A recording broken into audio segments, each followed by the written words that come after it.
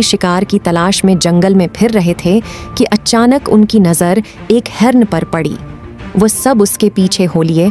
शिकारी हिरन को चारों तरफ़ से घेर रहे।